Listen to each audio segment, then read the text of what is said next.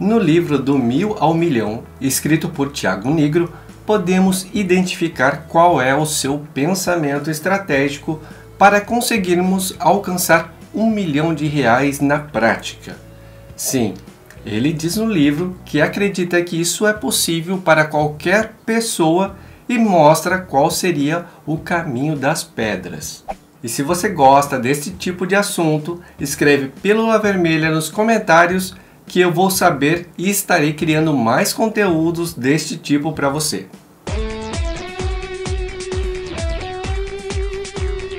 Olá, tudo bem com você? Eu sou Roberto Kirizawa e como você sabe, eu escolhi o minimalismo como meu estilo de vida. Quando vivemos de forma minimalista, tendemos a gastar menos dinheiro e, por consequência, poupar mais.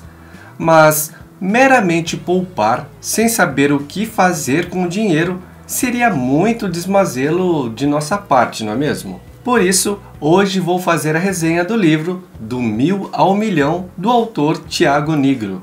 E se você curte este tipo de conteúdo em ver o minimalismo de uma forma totalmente diferente, já curte, se inscreve no canal e ativa o sininho para me ajudar a espalhar a mensagem.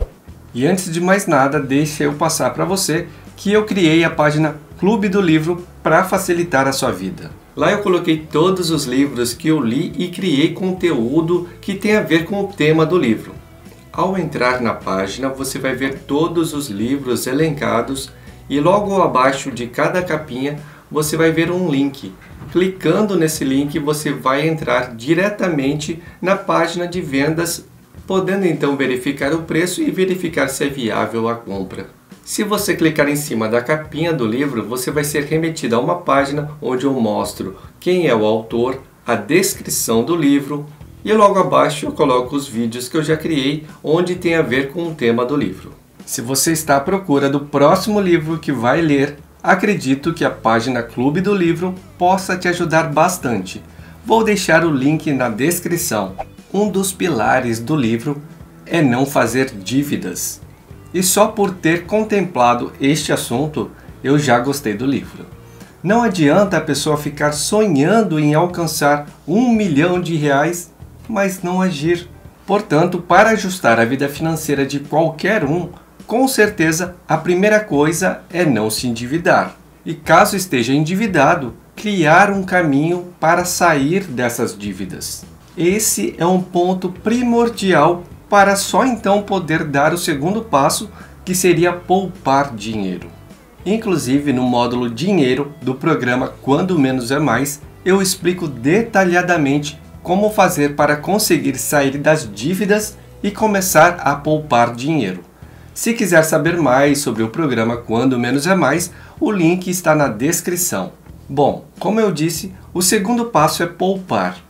E nesse quesito, o Tiago Negro diz que não é a favor de ficar economizando no cafezinho ou em pequenas despesas. Ele diz que existem gastos mais relevantes para dar atenção como por exemplo na compra de um carro. Ao invés de comprar um carro novo, é melhor comprar um usado em bom estado. Só nesse gasto dá para economizar um bom dinheiro. Outro exemplo seria deixar de fazer viagens internacionais todos os anos. Porém, no meu humilde ponto de vista, existem muitas pessoas que ainda não estão nesse nível de poder escolher entre comprar um carro novo ou um usado, e muito menos de poder viajar todos os anos para o exterior. Realizar pequenas economias, como passar a levar sua marmita no almoço, deixar de tomar café no shopping e coisas do tipo, no final do mês pode dar um resultado interessante para quem está com uma renda baixa no momento. Mas acredito que ele fala isso porque um outro pilar que ele menciona é que você deve se esforçar para sempre ter o melhor resultado. Desta forma, com mais ou menos tempo, conseguirá receber mais, seja como empregado ou como empreendedor. Pensando dessa forma e levando-se em conta que a pessoa já alcançou uma renda relativamente alta, aí sim faz todo sentido o que ele fala no livro. No livro Do Mil ao Milhão também é comentado que deve-se ter em mente uma certa proporção no orçamento. 60% deve ser direcionado para os gastos essenciais. 30% deve ser investido e 10% poderá ser gasto como quiser. Eu acho que esta é uma boa proporção para quem está querendo criar uma aposentadoria legal no futuro. Sei que é difícil e desafiadora, porém, como dizem, não dá para fazer uma omelete sem quebrar os ovos, né?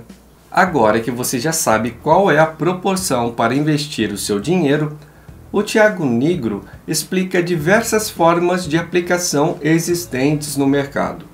Ele fala sobre a poupança e também fala sobre renda fixa, até da renda variável com investimento em ações. Um dado que eu achei surpreendente que vi no livro do Mil ao Milhão é que, enquanto na Alemanha 55,1% das pessoas poupam pensando na aposentadoria, no Brasil estamos falando apenas de 3,6%. E olha, você tem que concordar comigo. Isso é assustador. Ainda mais sabendo que, com o valor de uma aposentadoria pública, não dá para se viver com qualidade de vida nenhuma.